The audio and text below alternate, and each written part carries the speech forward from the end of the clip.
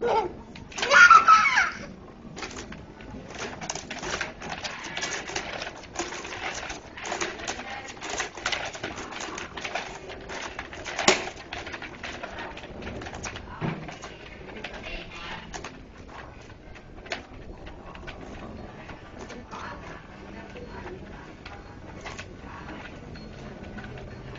đoạn qua tay phải quay chú coi.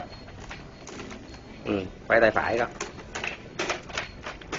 rồi tiếp.